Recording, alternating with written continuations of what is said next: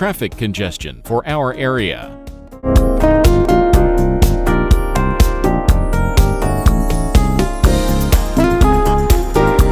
Traffic flow for our area.